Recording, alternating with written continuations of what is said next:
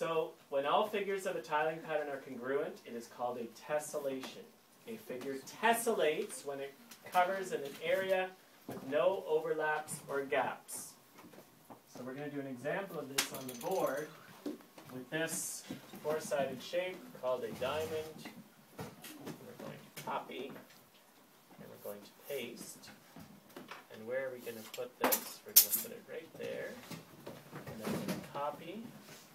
And we're going No.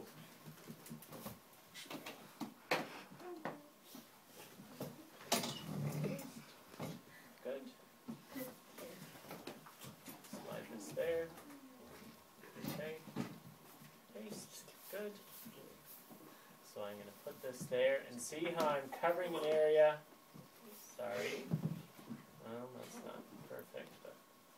When I cover an area and there's no gaps and no overlaps, that's what we call a tessellation. All figures are congruent. And where would I put the next one, Kennedy?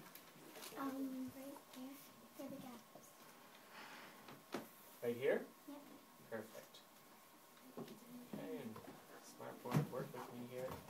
Okay, and then I would keep going until my whole entire board is covered. You can stop the recording.